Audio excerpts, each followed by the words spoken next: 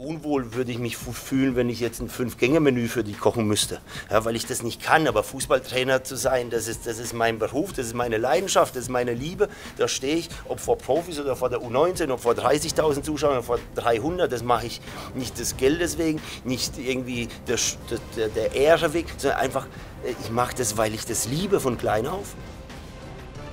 Ausschlaggebende Punkt waren die zwei Spiele, die ich als Interim-Trainer letztes Jahr in der zweiten Liga machen durfte. Und dann bin ich mehr oder weniger in diesen Fußballlehrer-Lehrgang so reingepresst worden, äh, ohne das äh, irgendwie äh, abgelehnt zu haben oder mich dagegen gesträubt zu haben. Also das war schon irgendwann auch ein Ziel, aber so kam das ja, fast schon un, unverhofft etwas früher als vielleicht geplant. Und jetzt im Nachhinein sage, Gott sei Dank ist es genauso gekommen. Ja, den Fußball werden wir alle nicht neu äh, erfinden. Ähm, die Schwerpunkte liegen vor allem in, im Umgang mit dem Menschen, im Umgang mit dem äh, Spieler, im Umgang mit Trainerkollegen, mit den Medien, dass man sich immer wieder vor Augen führt, äh, wir haben es mit Menschen zu tun und nicht mit Nummern. Ähm, Inhalte werden sich nicht mehr großartig verändern, aber auf den Mensch einzugehen, das war schon ein Schwerpunkt, der auch bei mir so hängen und haften geblieben ist und den ich äh, unbedingt auch auf meine Arbeit schon versucht habe zu übertragen äh, und das in der Zukunft natürlich auch noch vermehrt machen werde.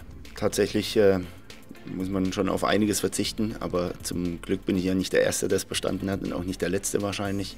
Äh, gestern, nach der allerletzten Prüfung, bin ich schon auch mit so einer inneren Gelassenheit und Zufriedenheit, mit einer gewissen Genugtuung dann auch im Auto gesessen, schön Tempomat eingeschaltet und das erste Mal nicht mehr hektisch aus Henne nach Karlsruhe gefahren, sondern äh, ganz entspannt und habe einfach diese zehn Monate so Revue passieren lassen und äh, muss schon auch sagen, äh, war ein toller Kurs, äh, weil zum einen tolle Inhalte, aber vor allem auch äh, tolle Menschen kennengelernt und äh, ich wollte ihn nicht missen. Vom Hören sagen, der Co-Trainer war immer aus, äh, außerordentlich zufrieden und äh, ich habe jetzt auch nicht das Gefühl gehabt, dass sie am Wochenende weniger äh, Power im Tank hatten äh, und dementsprechend waren sie vielleicht auch erleichtert. Der eine oder andere kennt mich schon seit der U17, wir sind im dritten Jahr zusammen und äh, manchmal tut ja auch so eine äh, Trennung auf Zeit von Montag bis Mittwoch ganz gut und die Freude vielleicht auch, zumindest ging es mir so donnerstags die Jungs wieder zu sehen, war dann vielleicht auch größer, wenn du